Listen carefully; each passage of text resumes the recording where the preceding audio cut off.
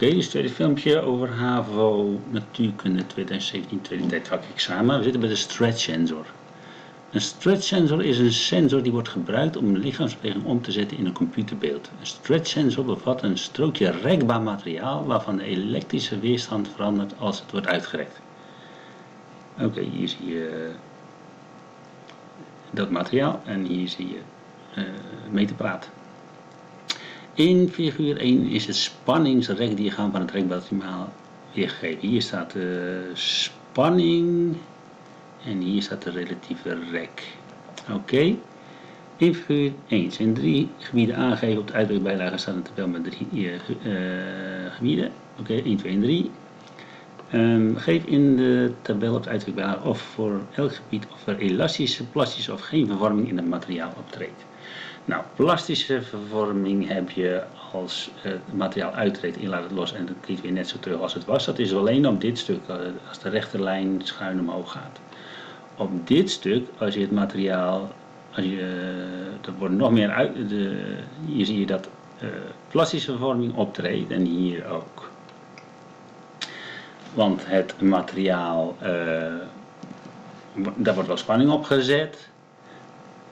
En dat betekent Um, de grafiek loopt hier niet rechtdoor. Dat betekent dat in dit gebied, als je er meer spanning op zet, dat dan uh, echt vervorming in het materiaal opgetreden die niet meer terug uh, is. Je kan het vergelijken met, uh, met een postelastiek. Als je een postelastiek een stukje uittrekt, dan gaat hij weer terug. Maar als je hem te, ver uittrekt, dan, gaat hij niet meer, dan wordt hij niet meer zo kort als hij ooit was. En als je hem nog verder uittrekt, dan, dan breekt hij natuurlijk.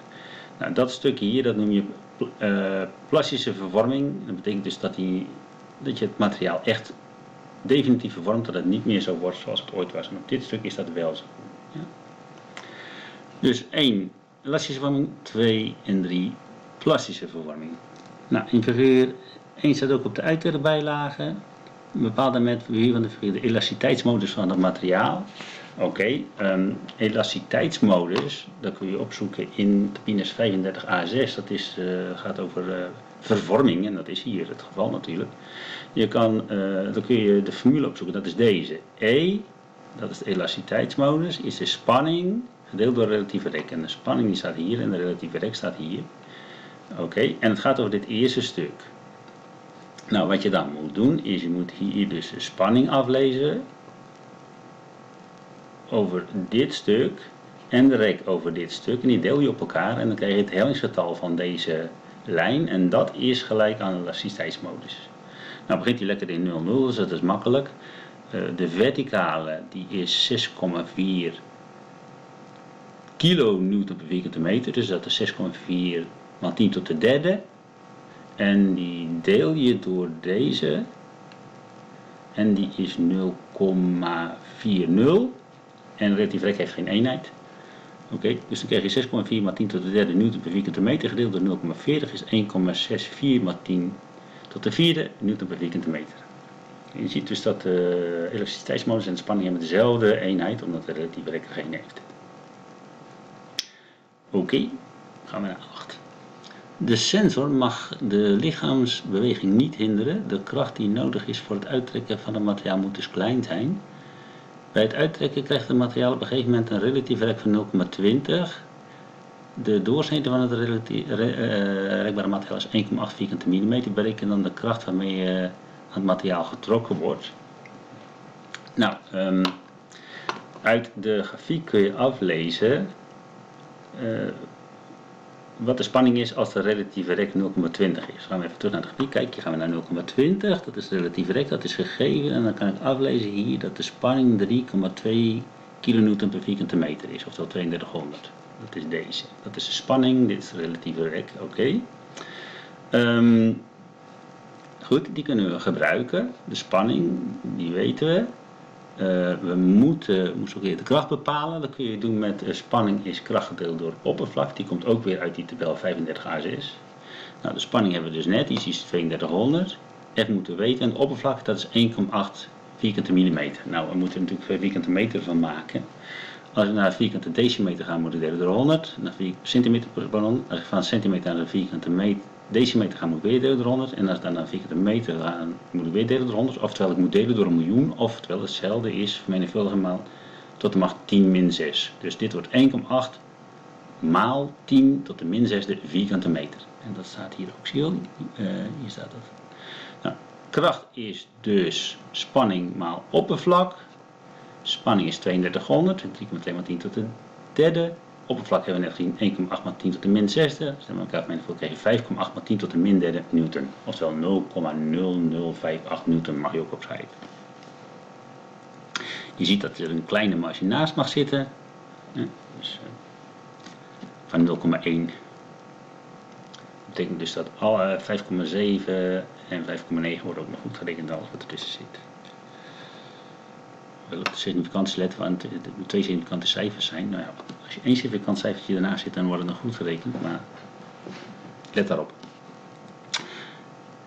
Oké, nou gaan we even naar een heel ander onderwerp. Dan gaan we opeens over naar elektriciteit. En nu gaan we zo meteen gaan we het ook over spanning hebben. En dan hadden we net dat ook over spanning, maar dat zijn twee verschillende spanningen. Kijk, de spanning die we hierover hadden, dat, deze, dat is de trekspanning. Dus je trekt aan een, uh, een bepaald oppervlak en daardoor komt de spanning op te staan. Nu gaan we het hebben, hier gaan we het hebben over deze spanning, dat is elektrische spanning, hè? U in volt. moet dus even niet door elkaar halen. Het heet allebei spanning, maar het zijn twee hele verschillende dingen. Hier heb ik het nog een keertje opgeschreven. Nou, uh, in figuur 2 is het schakelschema getekend van de stretch sensor. Het strookje rekbaar materiaal wordt weergegeven als R1, dat is deze. Oh, je ziet, dat is een weerstand, elektrische weerstand heeft hij ook en die is variabel blijkbaar. Als dit strookje wordt uitgerekt, neemt de grootte van de elektrische weerstand toe. Oké. R1 is een serieschakel met een weerstand R2, dat is deze en die is blijkbaar vast, met een vaste waarde, zie je wel. Er wordt een voltmeter aangesloten. De spanning die de voltmeter aangeeft is het signaal van de sensor. Dit signaal moet veranderen met het veranderen van de lengte van R1. De voltmeter kan worden aangesloten over AB, dus over de sensor. Hij kan worden aangesloten over, sorry, over het trekbare materiaal, excuus. Hij kan worden aangesloten over de vaste weerstand en hij kan worden aangesloten over de hele, allebei. Nou, een cirkel op de uitdrukbare de aansluiting A, B, B, en AC, de juiste alternatief, die heb ik even overgenomen, dat is deze. Nou, even kijken hoor. Uh, als, uh, als je R1 uitrekt, dan staat er hier, dan neemt de weerstand van R1 die neemt toe. Dat betekent dat er ook meer spanning over komt te staan, meer elektrische spanning. En dus minder over BC, maar het totaal blijft hetzelfde. Oké, dus de spanning over A, B neemt toe, de elektrische spanning, als R1 uitrekt. Dat betekent dus dat uh, hier minder over komt te staan, want het blijft natuurlijk 12 volt in totaal. Dus, dus over BC neemt hij af en over het hele stuk blijft hij gelijk, dat is die 12 volt. Kijken, neemt toe, neemt af, blijft gelijk. Ja. Oké, okay, gaan we naar 10. Uh, bereken het maximale vermogen dat de spanningsbron moet leveren aan de stretch sensor. Nou moet je weer uh, even kijken, nu moeten we dus elektriciteitsformules gaan hebben. Uh, die vind je in tabel 35D1 en degene die we nodig hebben zijn deze twee. PU dat is vermogen is spanning maal stroomsterkte. En U, hij zal in de binnen staan als U R. Dat is de wet van Ohm. U is spanning is I stroomsterkte maal weerstand R. Hier is hij omgeschreven als I is U deel R, maar het is wel dezelfde formule. Nou, wat gaan we doen? Dus even kijken. Uh, wat eerst moeten we even de totale weerstand bepalen natuurlijk. Nou, uh, even kijken wat de maximale weerstand is. We moeten even terug. Um, hier staat de weerstand van R1 kan variëren van 1 kilo tot 2,5 kilo ohm. En R2 is 5,6 kilo dat is vast. Nou, uh, als je de maxima, even moeten we uitrekenen, de maximale vermogen is de weerstand dus ook maximaal. Dat is dus 2,5 plus 5,6 is 8,1.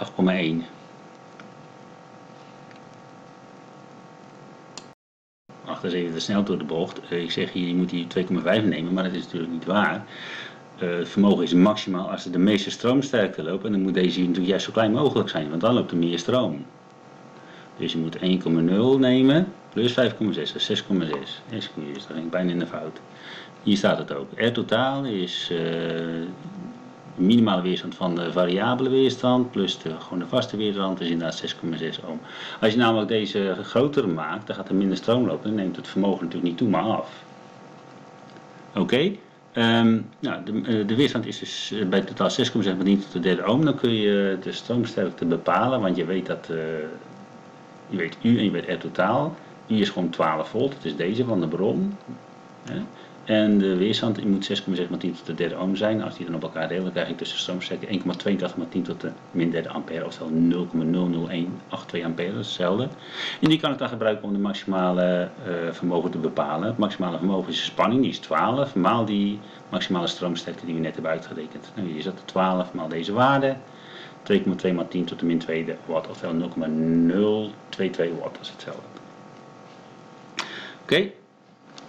Uh, stresssensoren worden gebruikt om realistisch, bewegende animaties te maken in animatiefilms en games. Hierdoor worden vele stresssensoren op een pak gezet dat wordt gedragen door een acteur.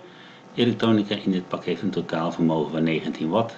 Het pak wordt van energie voorzien door een 12 volts accu met een capaciteit van 2,0 ampère. Dat betekent dat de accu gedurende 2,0 uur een stroomzet van 1,0 ampère kan leveren en gedurende 1 uur een uh, stroomsterkte van 2,0 ampère. Dus het aan, de stroomsterkte maal de tijd is altijd 2,0 ampère uur voor dit ding. Oké. Okay. Bereken uur hoeveel uur uh, het pak uh, kan werken. Nou, hier staat dat netjes uitgerekend. bij deze twee formules, die formules komt natuurlijk T25 deel 1, hè, want het is stroom en elektriciteit. Hier staat het netjes uitgerekend. Voor, je gaat eerst de stroomsterkte uitrekenen in het pak. Dat is het vermogen gedeeld door de spanning. Die zijn allebei gegeven, 19 watt en 12 volt. En vind je 1,58 ampère. Oké. Uh, hier vind je dat de capaciteit van uh, het pak 2,0 ampère uur is. Dus het aantal amperes maar het aantal uur moet 2,0 zijn. Nou, het aantal amperes is 1,58. Wat is dan het aantal uur? 2 gedeeld door 1,58 is 1,3. Dus zo lang kan die werken. Dat, als je dat terugrekent, dan vind je inderdaad 1,58 maar 1,3 is 2,0. Dat klopt precies.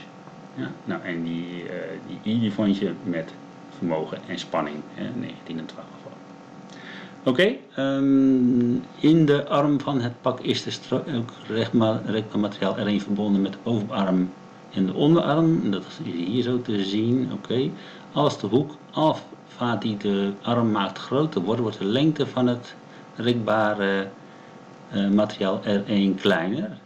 Even kijken, ja hier is de hoek klein, dan is het materiaal dus uitgerekt. Dus als die hoek groter wordt, dan wordt het materiaal minder uitgerekt. Ja, dat klopt. Oké, de computer die met het pak verbonden is, meet de elektrische spanning van het rekbare materiaal. Op de uitwerkbijlage staat een eindgrafiek verband gegeven tussen de spanning over en de weerstand van het rekbare materiaal. Dat is deze. In een tweede grafiek is het verband weergegeven tussen de weerstand van het maal en de hoek die de arm dan maakt. Dat is deze. Ik heb gekopieerd vanaf de bijlage hierheen. Oké, bij een bepaalde stand van de arm van de acteur meet de computer een spanning van 2,7 volt. In welke figuur is dan de stand van de arm het beste weergegeven? Nou, eerst maar even 2,7 volt hier opzoeken. Dat is hier. Ga ik naar de grafiek toe, ga ik naar beneden nou, dan is dat uh, 1500, uh, ongeveer uh, iets van 1500 ohm. Als ik hier dan naar 1500 ohm ga, ik ga hier naar de grafiek toe, dan ga ik hier naar beneden, vind ik 110 graden. Als we dan gaan kijken, dat is, nou dit is geen 110 graden, deze is de beste, 108 graden. Dus die zal het dan zijn. 162 is wel erg verder naast, 130 ook wel en 58 ook. Dus ja, het is geen twijfel moet bezig. Nou, dat zie je ook.